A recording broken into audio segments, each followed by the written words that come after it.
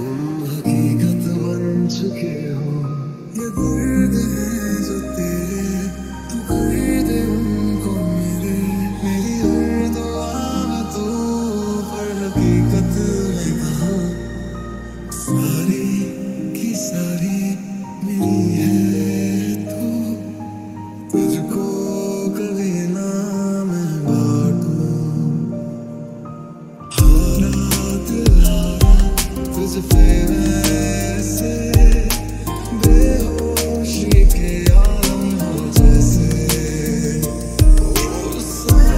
Please help me.